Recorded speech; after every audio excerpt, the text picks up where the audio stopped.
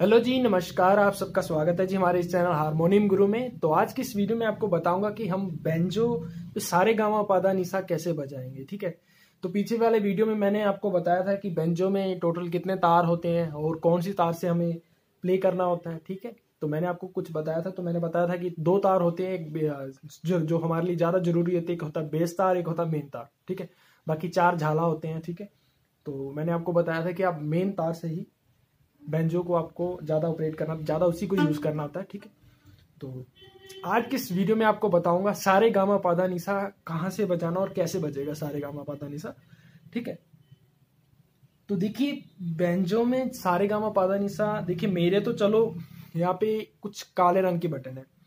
मेरे को तो यहाँ से आसानी से पता चल सकता है कि कौन सा सा है, कौन से काले से बोलो। अगर मैं आपको बोलूँ कि मेरे बेंजो पे आप तीसरे काले से सारे गामा पादनी सा बनाओ तो बना सकते हो। चौथे काले से बनाओ सारे गामा पादनी सा तो बना सकते हो। क्योंकि मेरे बेंजो में कुछ बटन काले हैं, कुछ सफ़ेद है। जी सेम हारमोनियम की तरह ही है, ठीक है? तो बट कुछ बेंजो में सारे के सारे ही बटन सफ़ेद होते हैं तो उसमें हम कैसे पता करेंगे कि हमें सा कहाँ से मारना है? ठीक है? तो चलिए, आज मैं आपको बेसिक सी बात बताता हूँ कि आपको सारे गामा पादा निशा बेंजो में कहाँ से बनाना है। तो आसान सी बात है। आप क्या करिए, पहले पाँच बटन छोड़ दीजिए बेंचो के। एक, दो, तीन, चार, पाँच। पहले पाँच बटन आप बेंचो के छोड़ दीजिए, ठीक है? और फिर छठे बटन से उसको एक नंबर मान लीजिए, ठीक है? पहले पाँच बटन छोड़ देने ठीक है? इनको पाँच, गिन के पाँच छोड़ दो। एक, दो, तीन, चार, पाँच। पाँच छोड़ दिए। और जो छठा बटन होगा आपका, उसको आपको एक नंबर मान लेना है, ठीक है? तो एक नंबर को आप सा मानिए, ठीक है? यानी कि जो छठा बटन होगा आपके बेंच का, उसको आपको अभी छह नंबर नहीं मानना है। अभी आपको उसको एक नंबर मानना है बट होगा वो छठा बटन ही, क्योंकि पाँच हमने छोड़ दिए तो वो छठा होगा, ठीक है? तो बट आप उसको क्या काउंट करोगे? एक नंबर मान के चलोगे, यानी कि सा मान के चलोगे, एक नंबर पे होगा आपका सा, ठीक है? सा फिर दो नंबर छोड़ना है और तीन को पकड़ना है। एक तीन तीन नंबर पे होगा आपका शुद्ध रे देखिए। सा शुद्ध रे ठीक है तीन नंबर पे। फिर चार नंबर छोड़ना और पाँच नंबर को पकड़ना है। ये होगा आपका शुद्ध गा। सा शुद्ध रे शुद्ध गा। और इसकी नंबरिंग है एक सा, एक नंबर पे होगा सा। दो नंबर तीन नंबर पे होगा आपका शुद्ध रे ठीक है? फिर ऐसी पाँच नंबर पे होगा आपका शुद्ध गा ठीक है? फिर ऐसी छह नंबर पे होगा आपका मा, शुद्ध माँ। ठीक है? फिर छह नंबर के बाद सात नंबर को छोड़ना, आठ नंबर को पकड़ना। ये होगा आपका पासवर्ड, शुद्ध सॉरी, पासवर्ड, देखिए। एक नंबर पे सा, तीन नंबर पे शुद्ध रे पाँच नंबर पे शुद्ध गा, छह नंबर पे माँ, सात नंबर छोड़ना, आठ नंबर पे होगा पा। ठीक है, आठ नंबर पे आपका पा। फिर पा के बाद नौ नंबर छोड़ना, दस नंबर को पकड़ना है। दस नंबर ये आपका शुद्ध धा होगा, ठीक है? ठीक है? फिर धा के बाद आपको ग्यारह नंबर छोड़ना, यानी कि दस नंबर पकड़ के ग्यारह नंबर छोड़ना है और फिर बारह नंबर पकड़ना है। तो ये होगा आपका शुद्ध नी। फिर ऐसे ही आपको तेरहवा बटन पकड़ना है और ये होगा आपका ता सप्तक का सा। ठीक है? ठीक है? अभी देखते हैं कौन सा कॉर्ड कौन सा, कौन से नंबर बनेंगे। एक नंबर बटन, तीन नंबर बटन, पाँच नंबर बटन, छह नंबर बटन, आठ नंबर बटन, दस नंबर बटन, बारह नंबर बटन और तेरह नंबर बटन। ठीक है? यहाँ से काउंट करना आपको। एक, तीन पाँच, छ, आठ, दस, बारह और तेरह। तो ये बन जाएगा आपका शुद्ध भिलावल थाट में जो सारे स्वर जो शुद्ध लगते हैं, वो आपका सारे गामा पादा निशा बन जाएगा। तो देखिए, सा, रे, गा, मा, पा धा नी सा, ऐसी वापस आ जाना है। सा, नी, धा, पा, मा, गा, रे, सा। ठीक है? और एक बात ध्यान रखना कि दोनों हाथों का जो कोऑर्डिनेशन एक जैसा होना चाहिए। जैसे जितना आप जो यहाँ पे, जितनी तेज इस हाथ से राइट हैंड से मार रहे उतनी हाथ, उतनी तेज से आपका यहाँ पे बजना चाहिए। यानी कि प्रॉपर एक बैलेंस में चलना चाहिए, ठीक है? देखिए, जितना स्लो आप यहाँ पे मारोगे, उतनी ही आपको दूसरा की पे है टच करें देखिए, सा, रे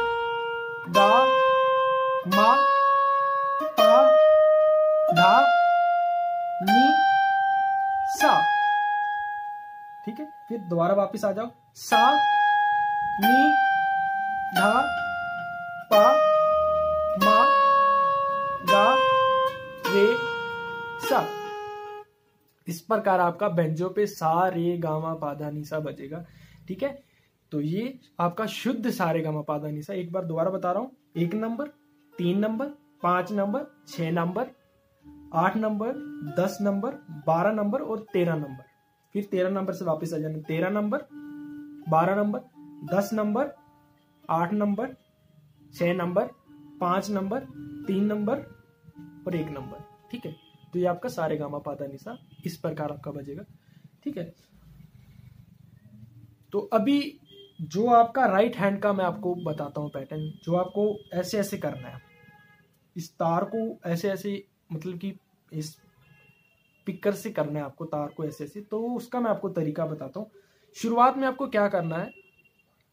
शुरुआत में सिर्फ़ आपको खाली अप ही करना है। यानी कि मैं आपको पास से थोड़ा मैं बताता हूँ। देखिए, क्या करना है आपको? जैसे शुरुआत में आपको सारे गामा पादा निशा बजाना है तो आपको क्या करना है? शुरुआत में आपको सिर्फ़ खाली मेन तार को ही टच करना है। इस बेस तार को टच करने की कोई ज़रूरत नहीं है। जब तक आपका ये तार कंफर्म नहीं होता, तब तक आपको बेस तार टच करने की कोई ज़रूरत नहीं है, ठीक है? तो आपको क्या करना भी देखिए, इसको ऊपर की तरफ़ मारना तार को। ठीक है? फिर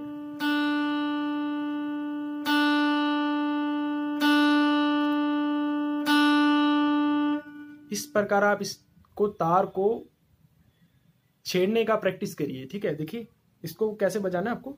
सा रे गा मा पा धा नी सा। ठीक है? तो ये तो हो गया आपका आरो सारे गामा पादा निशा अभी अवरो देखते हैं। अवरो कैसे बजेगा? वैसे ही जैसे आपको इसी तरह अवरो बजेगा। सा नी धा पा मा गा रे सा। ठीक है? बिल्कुल इसी तरह प्रैक्टिस करना है आपको। एक दो दिन आप इसी तरह उप, अप अप यानी कि ऊपर की ऊपर इस तरह मार मार के ऊपर की तरफ़ मार मार के सारे गामा आ, सारे गामा पादा निशा का प्रैक्टिस करिए ठीक है? जब आपका ये चीज़ कंफर्म हो जाए, फिर आपको दोनों तरफ़ से मारना यानी कि अप डाउन अप डाउन यानी कि ऊपर, नीचे, पहले एक बार ऊपर, फिर एक बार नीचे, एक बार ऊपर, एक बार नीचे। तो उसमें सारे गामा नहीं निशा कैसे बजेगा। देखिए, सा, रे, गा, मा, पा, धा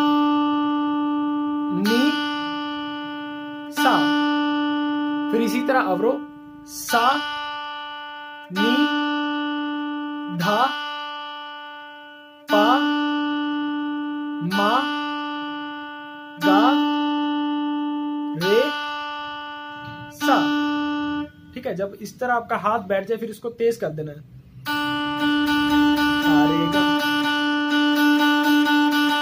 यानी कि पैटर्न है up down up down up down up down up down up down up down यानी कि ऊपर, नीचे ऊपर, नीचे, ठीक है? इसका पैटर्न ये याद रख लीजिए आप दिमाग में। एक, दो एक दो एक दो एक दो एक, दो। ठीक है? इस पे आप अपना हाथ बिठाइए, ठीक है? तो अभी मैं आपको दोनों तरीकों से, यानी कि अप डाउन के तरीके से मैं आपको सारे गामा पादा निशा बजा के दिखाता हूँ। देखिए।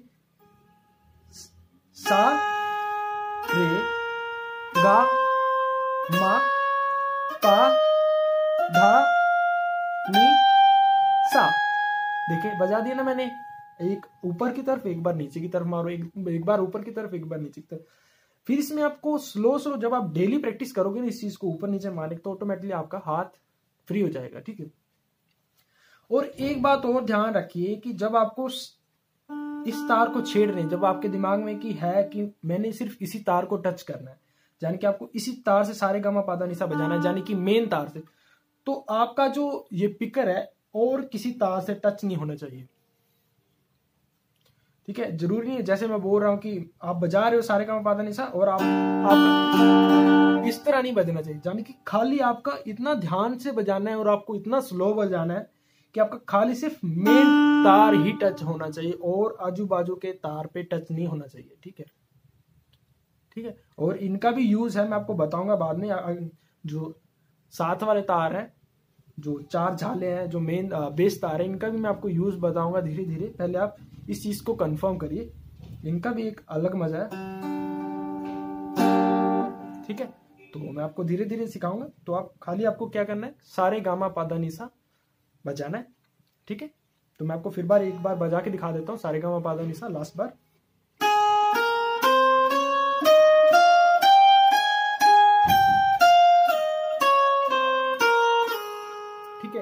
इस प्रकार आपको सारे गामा पादा निशा बजाना है। और ध्यान रहे कि एक लय में बजाना है, यानी कि एक, दो, तीन, चार। एक वेरिएशन एक स्पीड में बजाना है, यानी कि ज़रूरी नहीं, जल्दबाजी नहीं करनी। देखिए, साप आप और तरीके से बजा रहे, रे पे और तरीके से, यानी कि एक पूरा स्लो में, देखिए। सा, रे, गा, मा, पा, धा, नी, सा। इसी तरह वापस आना है। सा, नी, धा, पा मा गा रे, सा। ठीक है? होप आपको ये वीडियो अच्छा लगेगा। ठीक है? इस प्रकार आप इसको प्रैक्टिस करिए और फिर मैं आपके लिए आगे वाला इसको लिए आपको आगे वाला जो नया एडवांस लेसन है या फिर एडवांस टेक्निक है, मैं आपको बताऊँगा। ठीक है? तो तब तक के लिए शुक्रिया। अगर वीडियो अच्छा लगे तो प्लीज़ लाइक ज़रूर करिएगा वीडियो को। हो सके तो शेयर भी करिएगा। और जो भाई पहली बार देख रहे हैं बेंजो का जो दूसरा लेसन तो प्लीज़ चैनल को ज़रूर सब्सक्राइब करिए और कमेंट भी करते रहा करिए, ताकि जो भी आपको दिक्कत है, फिर मेरे को पता चलता है, मैं उसके रिगार्डिंग आपका जो दिक्कत है, वो मैं बता के क्लियर कर सकूँ हर एक वीडियो में। तो धन्यवाद, शुक्रिया।